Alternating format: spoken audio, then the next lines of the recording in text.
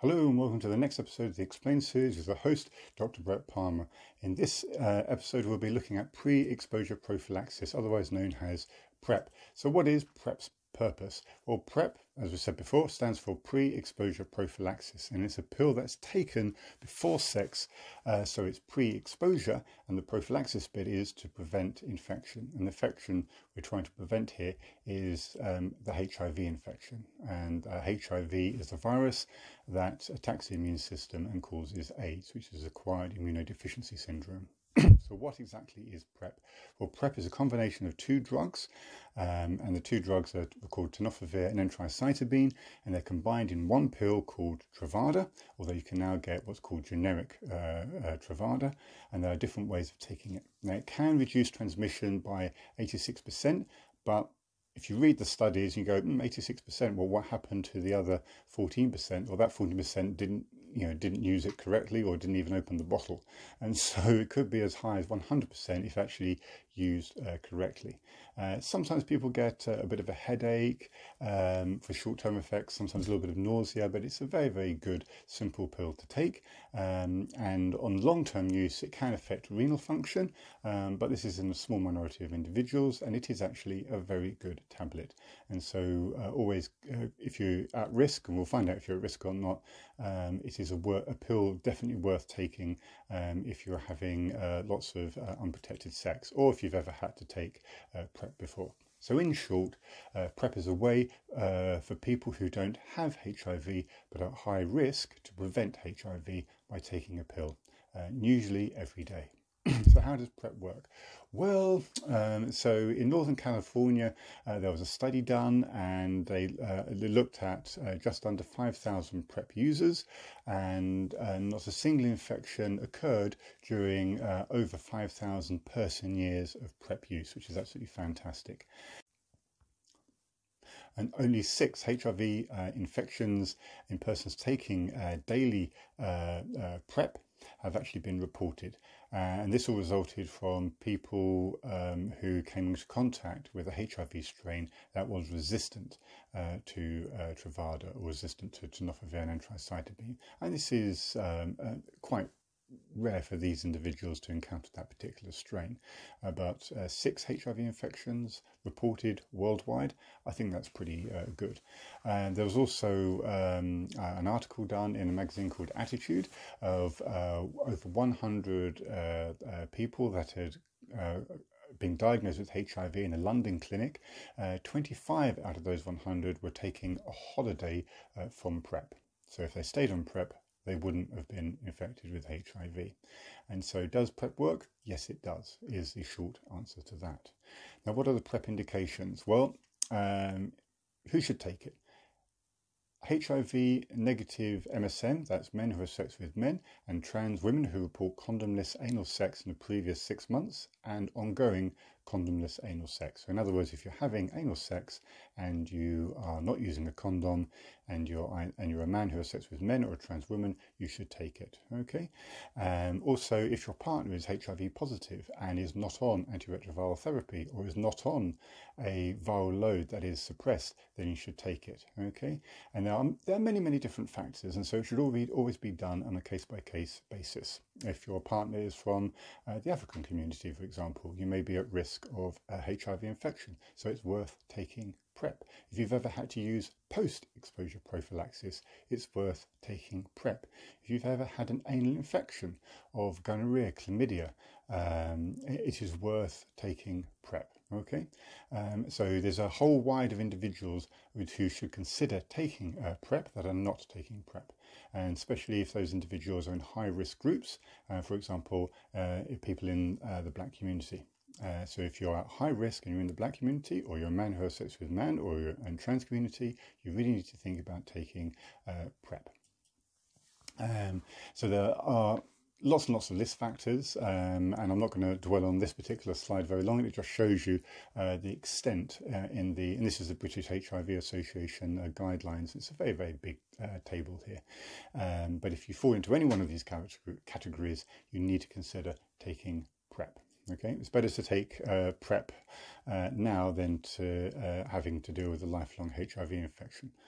So, um, we can have a bit of a game now. Who's at greatest risk? So, if you're a medical student or a medical professional, uh, this is uh, for UK data, and as you can see, you've got options um, for five, six, uh, seven options here.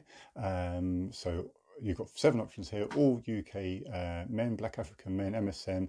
Put them who you believe is in the highest order of prevalence. Okay, and now you why while you're discussing that or while you're thinking about it, pause this video now. And if you if you've just unpaused the video, uh, here is the answer. And so as you can see, if you're a man who has sex with uh, another man and you live in London, uh, your the prevalence of HIV is 135 in a thousand. So that's actually uh, quite a high prevalence. Uh, if you're MSM, uh, so a man who has sex with men uh, in, elsewhere in the UK, it's around about 58, 59.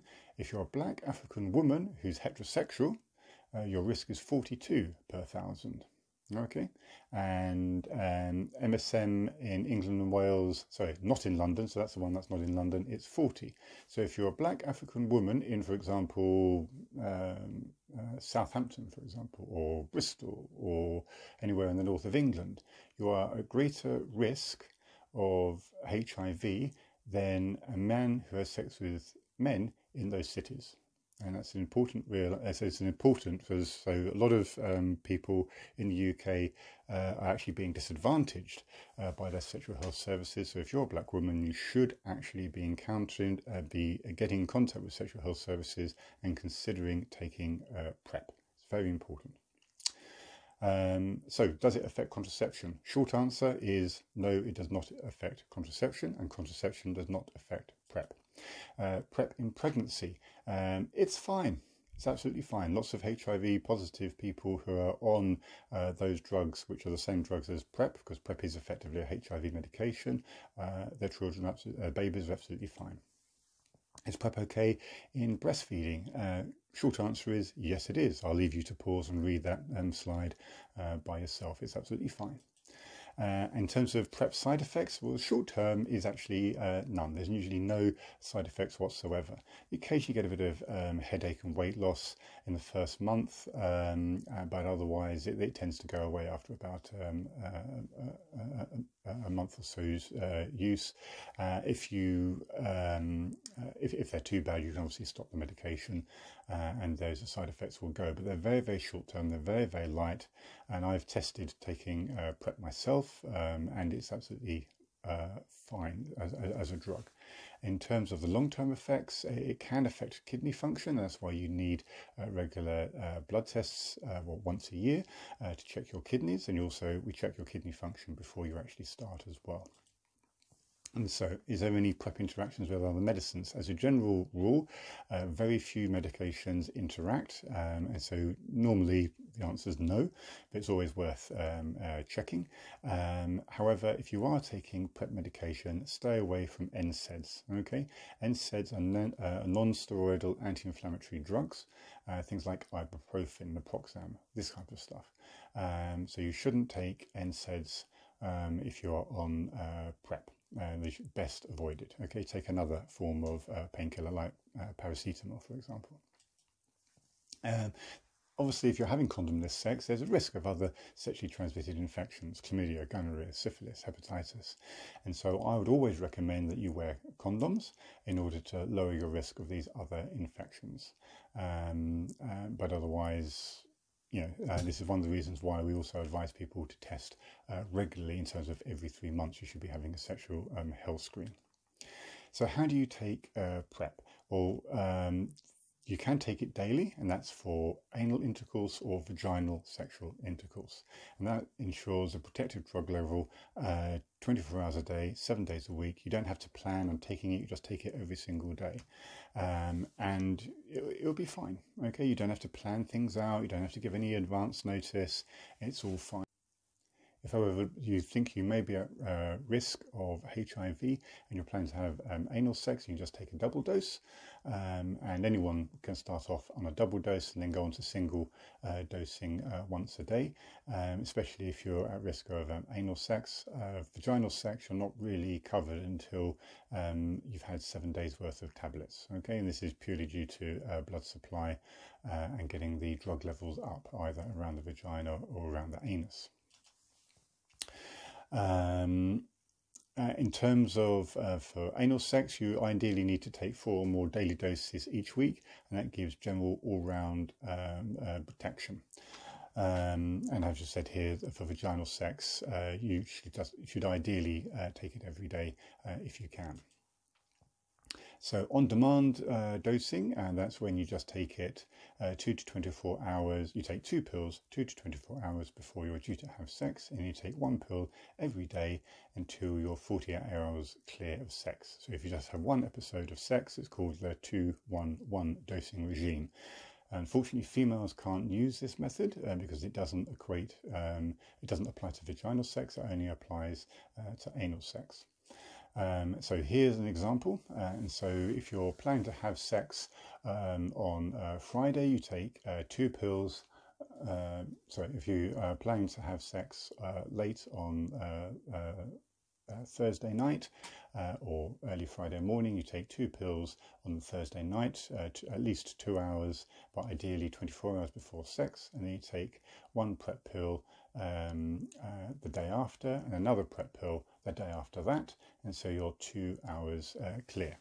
Uh, on this particular schematic, some people would say, oh, well, if you've had sex on the Friday, surely you should take it uh, until Sunday. And I would say, fair enough, then do that because that's uh, knowing your two pills clear of the sex event is a damn sight easier uh, to remember uh, than trying to plan it out hour by hour. Um, if uh, you're having a very busy uh, sex life, uh, then obviously take your two pills on uh, Friday, one pill on Saturday, one pill on Sunday, and then the last dose uh, two days after the last uh, sex. Okay, so at your first appointment, uh, you'll be asked if you have any types of symptoms of a HIV infection, uh, of acute HIV infection. You can watch my HIV videos uh, if you want to know what they are. Uh, you will be given um, a rapid test for HIV uh, and you'll have a full sexual health screen. A pregnancy test if required, so for example, if you're female, and obviously um, uh, a urine dip and then a test for um, uh, UPCR, and that is just um, if if they do a urine dip and they find protein in your urine, then they'll send it off uh, to have a look to see what the ratio between uh, pr- uh, protein and creatinine is in your urine, uh, and then you'll be given usually uh, three months of PrEP medication. Um, while you're on uh, PrEP, you should then come back or should be given a test kit to do a HIV test one month after starting PrEP, and you should have a sexual health screen every three months. Uh, and that ideally should also include hepatitis C, uh, but in some countries there's actually a shortage of actually uh, hepatitis C kits. Okay, uh, obviously a pregnancy test every three months as well, and then you should also, um, if you're uh, able to have it, uh, hepatitis B and HPV uh, vaccination. I know this is a worldwide uh, format, so it very much depends on one country you live in whether you're going to get the HPV and hepatitis B uh, vaccination. Okay, uh, when it comes up to a year, you then have what's called your yearly uh, PrEP bloods, uh, and that will include a full sexual health screen again, uh, including bloods for hepatitis B, C, and also to check your kidney function. Um, and that's also done when you first um, uh, have uh, PrEP bloods done right at the beginning, and that's then it's repeated every single year.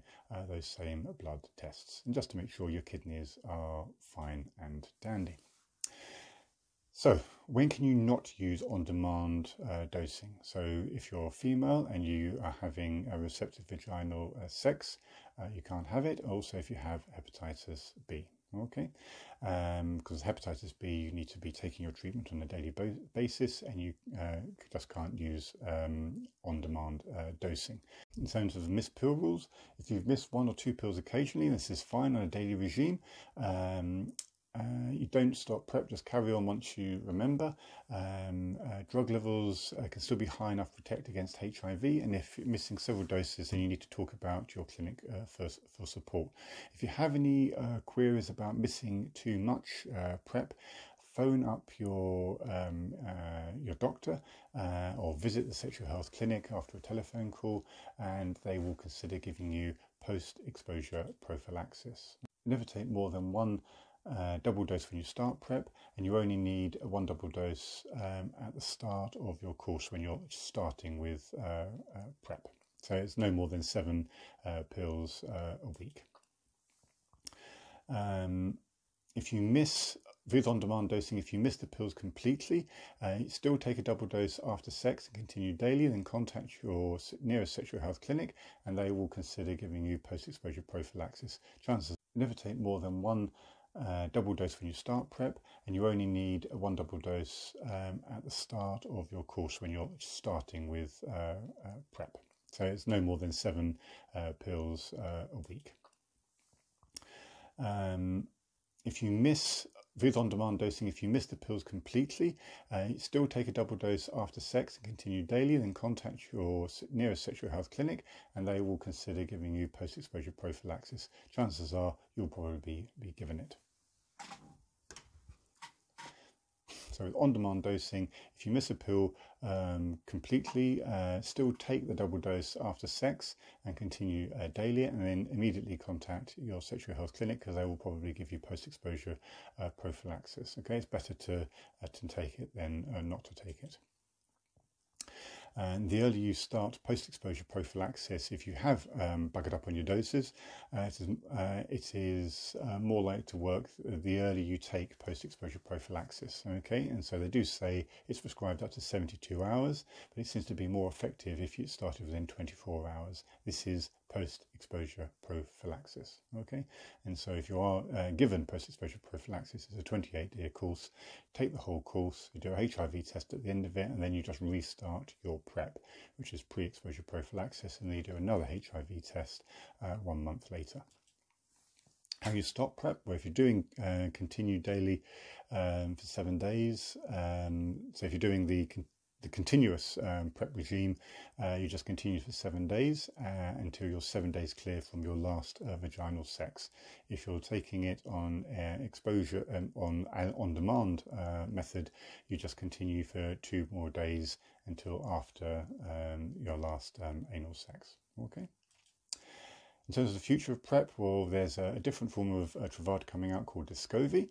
Um, it's not it's licensed for uh, PrEP, but it's not quite uh, commissioned, and it won't uh, be for uh, vaginal uh, sex. it will only be for um, anal sex. there's also a risk of one kilogram of weight gain over 48 weeks. there's also depot injections. some reports have said they're better than Truvada. Some some have said they're worse than Truvada. So it's a question of the, the evidence is still being uh, accumulated.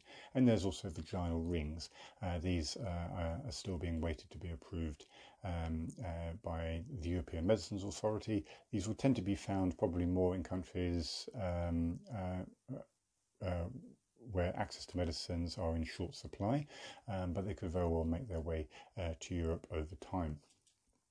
So these are some of the websites I've used uh, to put this uh, episode together, and I'd like to draw your attention to the uh, last one, which is ibase.info. If you go onto their website, a lot of this information has been pulled from their guide um, because they do a fantastic, easy to read uh, prep guide.